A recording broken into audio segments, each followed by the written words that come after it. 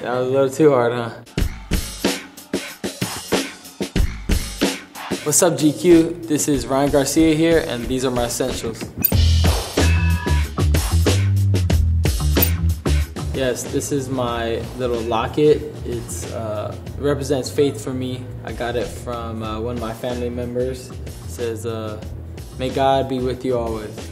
I'm originally from Victorville, California. I grew up there. You know, it was a journey because in Victorville, you know, it's tough out there. You know, it's not like the easiest place to grow up. So I had just faith in God that if I keep working hard, you know, I could make a way for myself. So my faith in God is something I need. It's essential. It keeps me grounded, it keeps me humble, and just focused. You know, keeps me very focused. Can't go without these bad boys. My boxing gloves. Of course, it's essential in my life. It's all I do.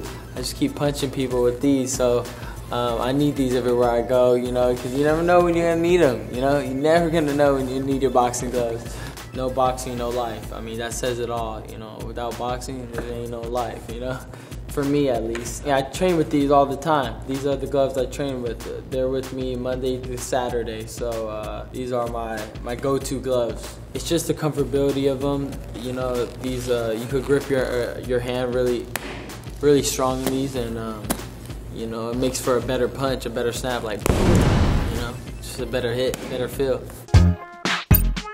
Gotta have my headphones, gotta have the music, you know, listening before a fight or warming up, you know, gotta have my my music in my ears, keeping me motivated. Uh, I play everything. I love all type of music. Taylor Swift, sure, I got Chris Brown, I got Justin Bieber, I got everybody in my music playlist. So, you know, music's super important to me. It could bring your mood high it could bring your mood low. You know, music could do anything to you. It's crazy. So I listen to Frank Sinatra before my fight a lot and also listen to worship music. So both of those I need. It's weird. It's a weird combination. One of the most important things for me is my family. You know, they keep me grounded, they keep me humble. They always make sacrifices with me. I got my little brother Sean right here. He's just a little knucklehead. He's always having fun with me. He's like my best friend. My mom Lisa, always giving me hugs and stuff and making sure, you know, I feel comfy. Got my dad. He's also my trainer. And, you know, he's been training me since I was seven. My sister Sasha, she's a character. Very stern is Sasha. Got my older sister Demi. She's always, you know, looking out for me, always making sure I, I'm doing things right. And my, of course, my baby sister Kayla, the baby of the family. You got my daughter, of course, new motivation for me, and uh, she holds a special place in my heart, and everything I do is for her, so it's very important to me. Having a big family is fun, you know, you always have somebody to hang out with, always somebody to talk to, so I love having such a big family.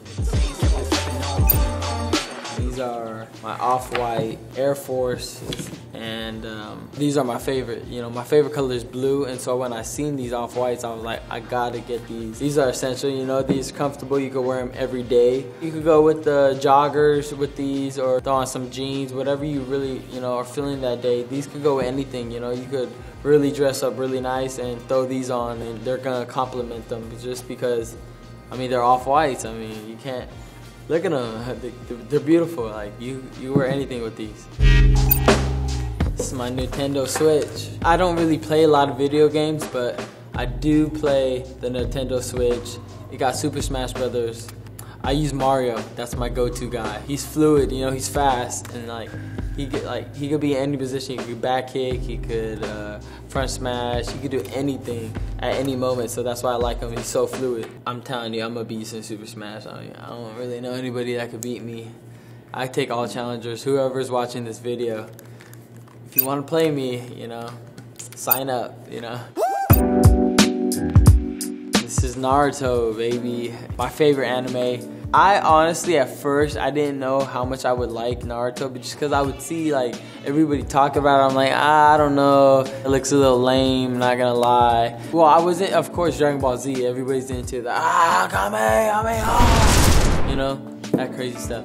But then I was like, you know, I want something more, you know, more like of a storyline. So, you know, I looked into Naruto and the storyline of the show was amazing. And, you know, it actually made me cry a couple times. Nobody believed in him. He wanted to be, you know, the best Hokage.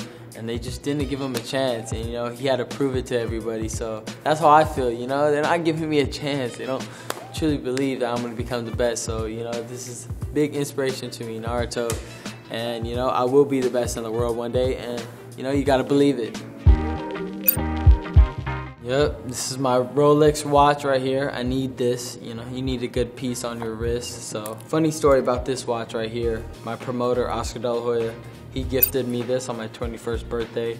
So it's pretty special to me and um, yeah, I wear it almost every day. I was a huge fan, uh, you know, as a little kid watching his fights. You know, I fought, I watched him fight Mayorga, all those fights. So I was, I was super hyped, and it was like a dream come true. It was cool. The first time I met Oscar, I was around 18 years old. It's when he was uh, gonna sign me, and we went on uh, this little charity event for these kids that you know needed to find a new inspiration, a new way. And Oscar had me do a speech for the kids, and while I was doing a speech for the kids, he came on the beside me and gave me a contract for uh, for five years to fight under his promotion, which I thought was pretty cool. And it was a big event, a big day. So that was the first time I met Oscar. I think I wanna I wanna like dive into it a little bit more and you know try to get a couple different pieces. I like the one that Odell Beckham Jr. had.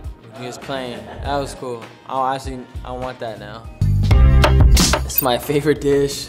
I have this meal actually before each of my fights because you know it stocks you up with energy. It's Italian food. I love Italian food. It's my favorite food.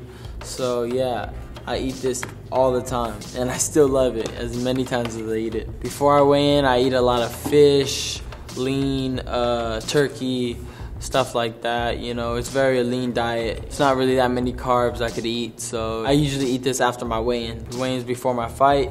Have fettuccine alfredo with the family, and get ready for the next night. And uh, yeah, I'm pretty much ready to go after this. I kind of want to eat this right now. Is it good enough to eat? Uh, it's been a little while. Okay. it looks really good. Yeah, and the last thing that I think is probably the most important is um, my mother's hugs. I know I punch people in the face for a living, but you know I love to have that uh, that mother's love after the fight and stuff. Hey, mom. I know, I'm a big back boxer, but you know, need the hugs. hey, this was Ryan Garcia, and these were my essentials. I hope you enjoyed watching. See you soon at one of my fights. Thank you. Peace out. I'm out.